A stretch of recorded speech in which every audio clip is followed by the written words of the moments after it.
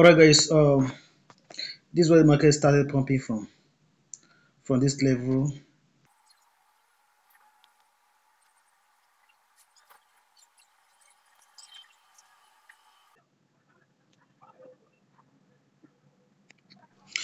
Oh yeah, if you are there with your phone,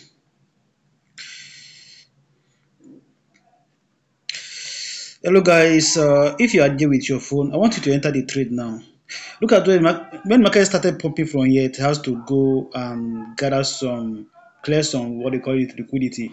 So now it's trying to come down and sweep other, other liquidities from down here. So I want you to enter this market here and put your, uh, your take profit at this level like this.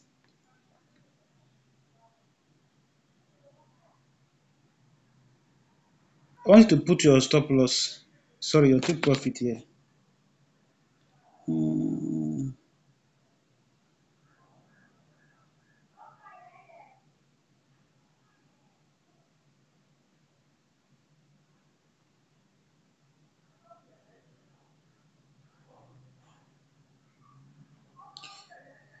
want to put your your stop loss here, sorry, your take profit, let it be at this level. You can also set another one, let it be here. You can set another one here. You can set another one here.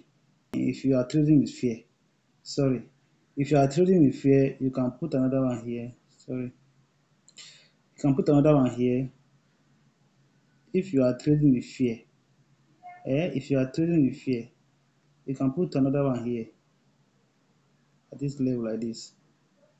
If you are trading with fear, oh, you don't want to, if you if you don't want to lose your money, if you are trading with fear, so you put another uh, what do you call it? Put your your take profit at this level. So let's wait for the price and see how the price will go.